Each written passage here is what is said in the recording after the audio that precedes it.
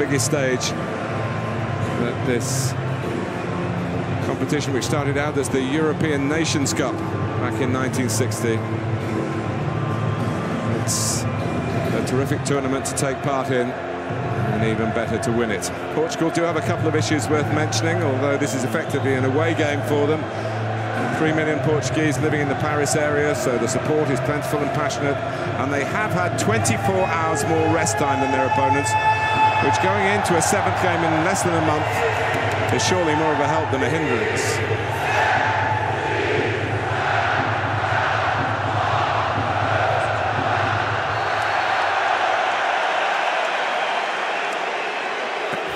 When Nani's ready, away we go. Germany, and rightly so. But, uh, an early sight of goal here for Nani, who's had a terrific tournament as well. Earned himself a move to Valencia for next season. It's a sweeping ball, and he just catches. Not quite high enough, not quite deep enough. So, Matuidi stepping in, Griezmann. Not an easy ball to strike on the turn. Well, they've got players surging forward, players attacking the ball really well here, France. First Sissoko, then plays Matuidi. Portugal at the moment struggling to get up to the pace of France. Getting robbed of the ball just like Ronaldo was there. And they stayed down, but uh, Mark Clattenburg saw nothing wrong and France play on. And now uh, Fernando Santos is telling his players from uh, down in the technical area there you can see him put it out. 17 players in that first game, 15 of whom are involved in this squad. Here's Payet, after a slip. Well, what a good header. That was typical of a man in form from Griezmann. But Rui Patricio in Portugal's goals having a good tournament too. And he was needed to stop that just looping in. Starting with a mistake from Pepe. Reaching the 10-minute mark in the final. France's corner, taken by Payet. And uh, Giroud, who started the tournament off, of course, with a goal at this end of the... He lost uh, on penalties in the end to Sweden. William Carvalho. We're hoping it doesn't go to penalties here, but there's, there's mm. worse than that. That is not good news, is it? I think that's the end of his night by the looks of him. It was pretty effective. Well, he's um, strapped up a bit. The football here that's a great run by Moussa Sissoko. And they can't handle it, can they? They can't handle that. Armband's off, and he's off. You did read the signs right, Alan.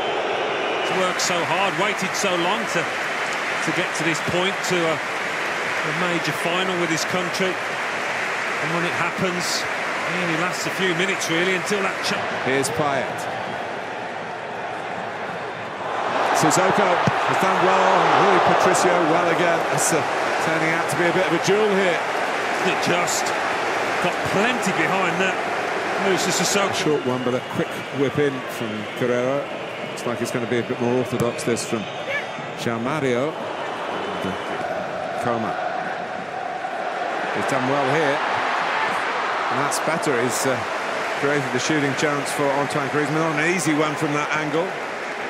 Pogba's ball to Coman. Griezmann! Well, I don't think too many people in the stadium can believe he's missed that. Well, he's run off Guerreiro at the far post, and I think the left-back thought this was going to be a goal. We're wearing to their baggage. It's a big hit by Coman, but uh, it wasn't too close to the target. He'll get back on his feet here, and he has done. For Giroud on his strong side. Another strong save from Rui Patricio. Sagna. Sissoko in too much of it. Eder is a forward with not a very good goal-scoring record. Switches. Uh, Nani from the right. Oh! It comes out for Quaresma. Well, that could have been the final decided in a most unorthodox fashion. Nani's ball in. Yeah, well, it wasn't. And a, a real moment of quality like that from Sissoko. Coman.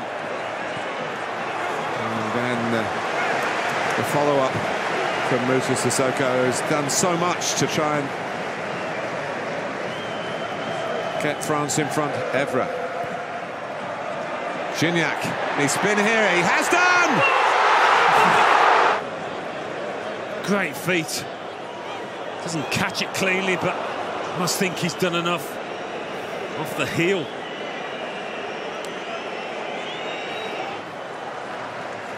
Who's had so little to do, but uh, the players have more work, and no wonder. So, 15 minutes each way to go. Still awaiting the first goal in the final. Taken by Quaresma. The Flags up. And uh, it wasn't too far away, but it wouldn't have counted. It was a nice ball in, nothing wrong with that, but... Uh... With that language. Here is Quaresma. Eder! Well, France survive and look to counter-attack here with Griezmann and Cristiano Ronaldo, but his substitute, Ricardo Quaresma, is a practitioner of the art. But it's Guerreiro who takes it, hits the bar.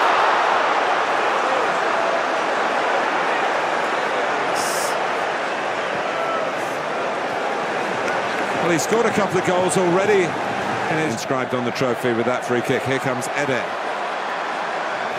Not got much help. Oh, he doesn't need any help. How about that?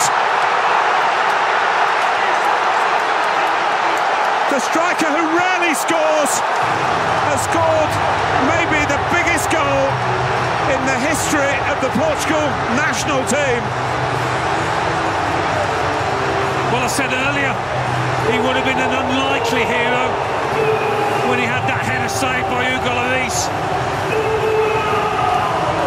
But that drive from distance, he could not have hit it any better. Let's just say, Martin, he's not as... hardly walk himself. Alan Smith, what have you made of this? Well, it's just football for you, isn't it? Never ceases to amaze. In Portugal, Coman needs to get his cross in. Does get his cross in.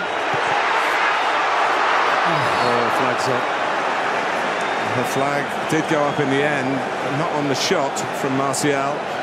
Always makes referees add on a little bit more time. But it's the greatest night in Portugal's football history for Cristiano Ronaldo. From tears to cheers and more tears this time of joy. Their first major trophy against all the odds. And France, just as Portugal did themselves in 2004, fail in front of their own fans. And it's Portugal who are champions of Europe. They hadn't beaten the French for 41 years, 10 successive defeats. But the perfect time to put that they are maybe party poopers in Paris, but they are Portugal. And tonight they've been simply magnificent. Champions of Europe 2016.